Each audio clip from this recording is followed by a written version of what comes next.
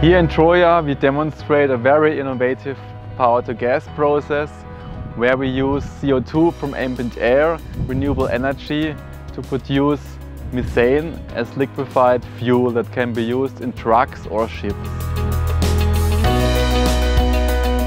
So Climeworks captures CO2 from ambient air using the world's first commercial carbon dioxide removal technology. The Climeworks plant is capturing 150 tonnes of CO2 from the air per year. That air captured CO2 is then methanated, it's liquefied and used to fuel natural gas vehicles. In this plant, we have all the necessary equipment to purify and liquefy biomethane or fossil natural gas, enabling people who is not reached by the natural grid to use this fuel, displacing diesel and other more contaminant fuels.